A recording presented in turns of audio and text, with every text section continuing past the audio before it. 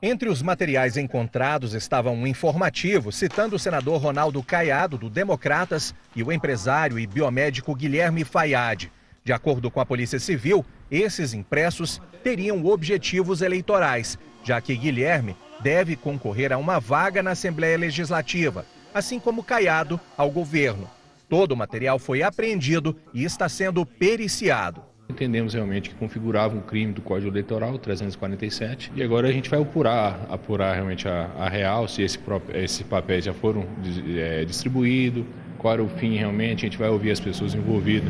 De acordo com a denúncia, o material gráfico estaria sendo impresso dentro desse galpão que fica na cidade de Jesúpolis, a cerca de 120 quilômetros de Goiânia.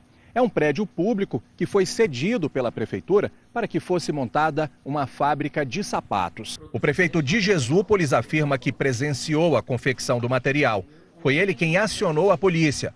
Diante da irregularidade, o prefeito também pediu o prédio de volta. Me deparei com a situação é, de um senhor, por nome Diego, de origem uruguaia, estava confeccionando uh, os referidos é, materiais. De imediato, a, nós acionamos a polícia, duas viaturas chegaram, é, conduziu o senhor Diego até a delegacia de Jaraguá e levando todo o material que, tava, que tinha sido produzido até aquele momento. A empresa estava funcionando? A empresa funcionou por um período muito curto, no máximo quatro meses, gerou pouquíssimos postos de emprego e de lá para cá o galpão ficou parado, todos os equipamentos parados por um bom período.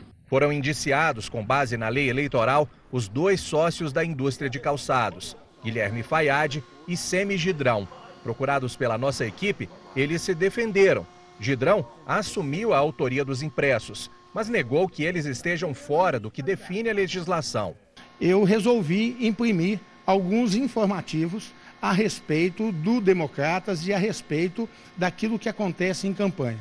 Mas longe de qualquer tipo de campanha extemporânea, longe de qualquer pedido de voto, não tem nada que caracterize uma, uma campanha extemporânea, não tem nada que caracterize uma atitude indevida dentro daquilo que é, determina a legislação. Guilherme explicou que não existe uma gráfica dentro do galpão.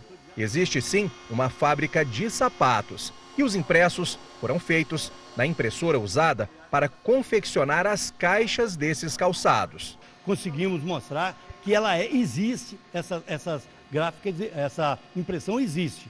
E por ela estar agora parada e nós diminuímos a nossa produção em muito por causa da dificuldade é, nacional e não só de Jaraguá, não só de Goiás, nós começamos, a, o, o, o dono dela é, achou por bem fazer uns, uns informativos. Mas para o promotor que vai acompanhar o processo, o que houve foi uma série de irregularidades graves. Serão abertos procedimentos necessários, tanto procedimento na área eleitoral como procedimento na área criminal.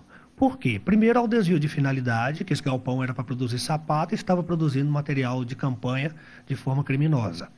Depois, esse material não está sendo contabilizado. Além de ser extemporâneo, ele não está sendo contabilizado em nenhuma conta, né, de nenhum partido, de nenhum candidato. O que pode configurar é, caixa 2 e configurando caixa 2 pode evidenciar crimes de formação de quadrilha, crime de falsidade ideológica e, em contrapartida, também crimes de é, abuso de poder econômico que sujeita, inclusive, a cassação do registro do candidato.